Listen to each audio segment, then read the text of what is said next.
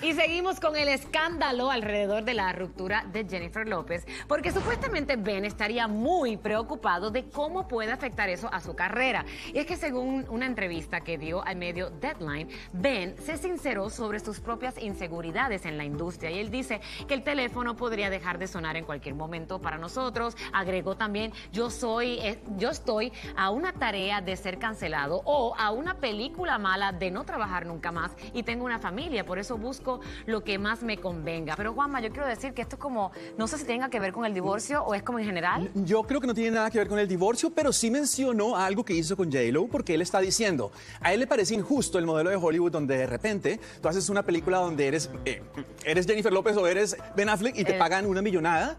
Y es un fracaso como le pasó a Gigli en, en el 2003, que fue una película protagonizada por los dos. Él la mencionó, no menciona a Jennifer López, pero, está menciona ese diciendo, ganamos mucho dinero y los Bueno, y lo productores que, no. y lo que un el asunto que hace poquito él fue productor de la, de la De la última película con J-Lo. Sí que- Exacto, pero también él dice que hay películas que se hacen con 10 millones de dólares y que de repente... Tienen un eh, revenue bien grande. 200 millones de dólares de los cuales nadie Sí, un, ve ni golpe un a- centavo. un golpe de suerte. Es que de eso se trata el arte también. Claro, o sea, a mí me también. parece que lo que él está diciendo es un poco de la industria del arte, que es... Que haya justicia en. Hollywood.